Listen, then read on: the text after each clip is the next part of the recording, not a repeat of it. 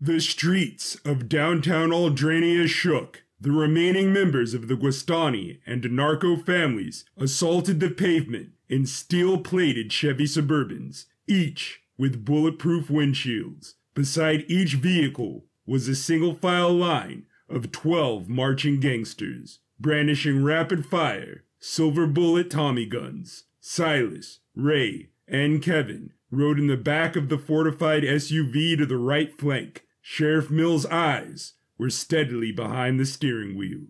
Magdalene and the Spectre sisters emerged from a cloud of smoke. All three of the wolves towered over the newly assembled urban army. Look at what we have here. As local law enforcement, I'm giving you this one warning cease and desist. Ha ha ha ha! I shall enjoy picking you out of my teeth. Open fire!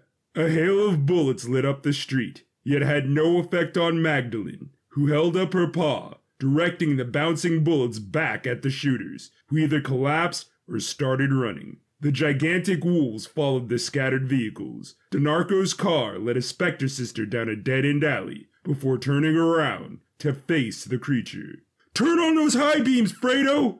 The headlights on all of the cars had been converted into ultraviolet bulbs, a suggestion made by Kevin from his knowledge of pre moon history. The light burned the eyes of the Spectre sister, blinding her. The car bolted forward. The moon roof opened. A gunner emerged with a railgun, blasting off shots at the wolf's belly that had an effect due to her being weakened by the UV light. The blind Spectre sister howled in pain, knocking into a building, unable to find her assailants. Giuseppe DeNarco called over the connected line. Silas, tell that kid of yours he's a genius. The lights work like a charm. So you got one? Soon. I just have to. The blind Spectre sister's hind foot came crashing down on the Suburban, crushing it and everyone inside. The SUV with Silas, Ray, Kevin, and Mills sped away from another Spectre sister, driving so far from Main Street they were now on the Gemini Bridge. Giuseppe! Giuseppe! I don't think he made it, Dad. Well, you heard him. The lights work, so let's light these pups up. Sheriff Mills turned on the UV high beams before going in reverse, using the rearview mirror to maneuver through the giant furry legs while concentrating the light on the front left leg until the light burned it off entirely. The SUV made a sharp right, narrowly avoiding the wolf's collapse. Bravo, Sheriff Mills! That was utterly cold blooded. Who wants to get out there and shoot that thing into oblivion? Allow me.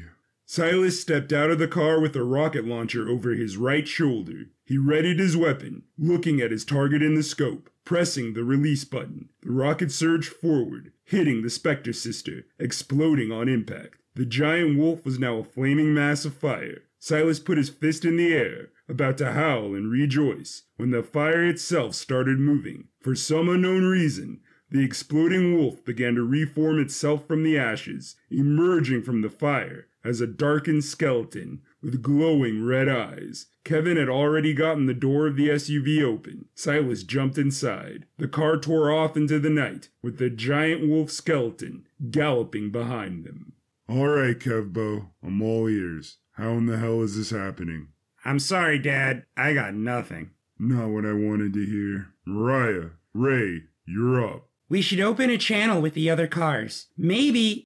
Half of another Suburban came flying in front of their SUV. Sheriff Mills swerved away from the mound of crushed steel. The Skull Spectre sister met up with her kin, who went unharmed this whole evening. Magdalene and the blinded Spectre sister leapt from the sky. The four giant wolves surrounded the SUV. Sheriff Mills turned on the UV high beams. Magdalene was unfazed. I am the first and most powerful skinwalker, and you come at me with toys? hey, Mags, up here. Magdalene looked skyward as Mitchell descended upon her. Jesse, in his megawolf form, leapt off Mitchell's back like a bullet, hitting Magdalene in the snout. She flew backwards, caught herself in midair, slid on the ground, then ran at Jesse head on. When they collided, he held her jaws open with both hands. She writhed back and forth to break free, when the Skull Spectre sister sideswiped Jesse into a wall.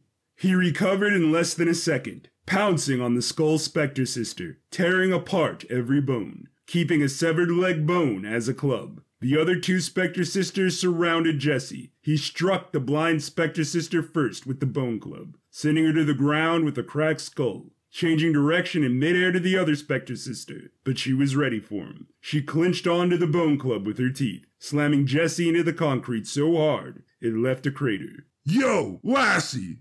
The Spectre sister ran at Mitchell in full force. When the two collided, the impact sent them thousands of feet in the air. Mitchell was on top of her until she turned over, thinking she gained the upper hand before slamming into the glass dome of Aldrinia, exploding upon contact. Mitchell used his giant wolf abilities to land at the crater where Jesse's body lay. Jesse, you alright, buddy? You need to get up because it's three down. One more to. The head of a sideways light post hit Mitchell, sending him through a parked van. Magdalene had the post in her mouth, tilting her head to send the jagged end into Jesse's back. She pulled it out and threw it away.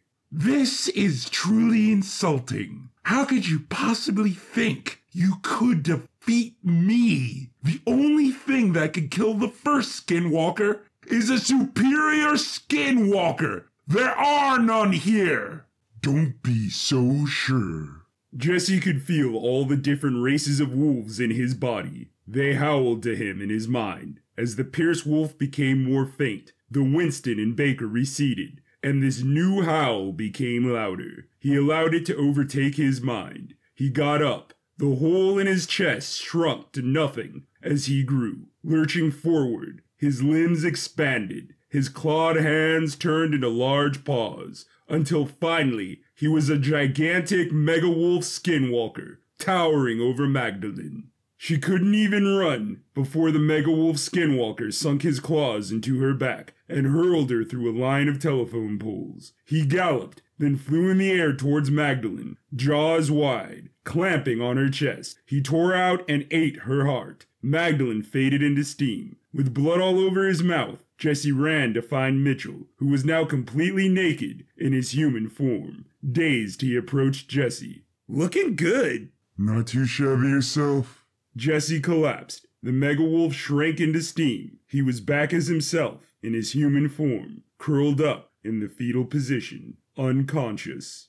Back at the lab, Candace's eyes opened wide. She inhaled heavily. Looking around, she saw Dr. Humphreys. Her body had returned to its human form, but the strain was too much as she lay there lifeless. Candace found a blanket and draped it over the doctor. The Redbones entered, wearing oversized lab coats. Yanni helped Laurel to a nearby chair. How are you doing, Mrs. Redbone? I'm fine. Really tired, though. You're still recovering. I can't imagine what that was like to go through. The fellas must have won then, right? They had to if you're all back to being normal. The phone at the end of the table rang, startling Candace and the Redbones as it echoed off the walls. Hello? Candace! Oh, yeah. Am I happy to hear you? What about my parents? Are they there? They're good. How did you get this number? It was listed under Dr. Humphreys. How's she doing? Not well. Is Jesse with you? Sort of. There's no easy way to say this, but Jesse's dead. You just listened to Werewolves on the Moon, Episode 11 Showdown. This audio drama was written, recorded, performed, and edited by Drew Manning. If you enjoyed it, please stay tuned to this channel. Thank you for your time and have a great one.